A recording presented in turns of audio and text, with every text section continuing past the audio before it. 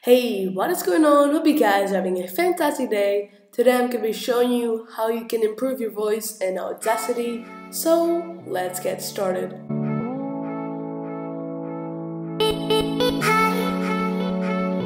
So, as I said at the beginning of the video, I'm going to be showing you how you can enhance your voice in Audacity.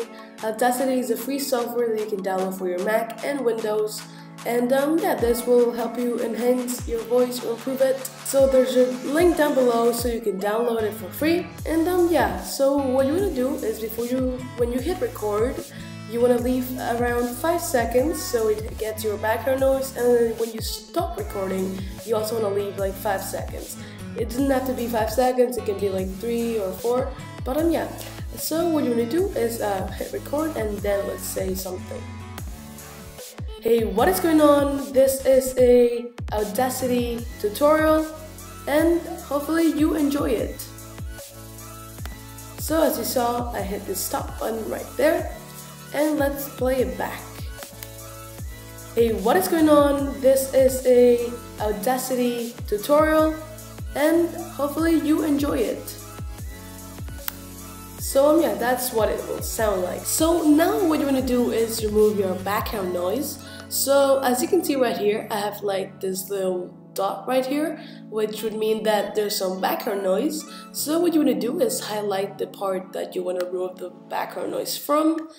And um, what you want to do now is go to Effect and go here to Noise Reduction and click here to Get Noise Profile. So just click there and um, now what you want to do is highlight everything so just double click there and then go to effect and then repeat noise reduction. And as you can see that little dot that was there was removed and all the other background noise was also removed.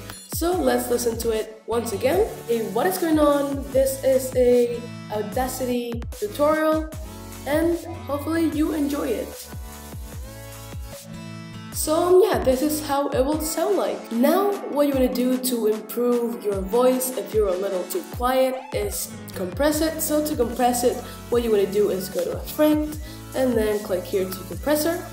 You want to have this threshold um, around 18 or so. The lower it is, the more uh, background noise there's to be, and the higher it is, the less background noise it's to be.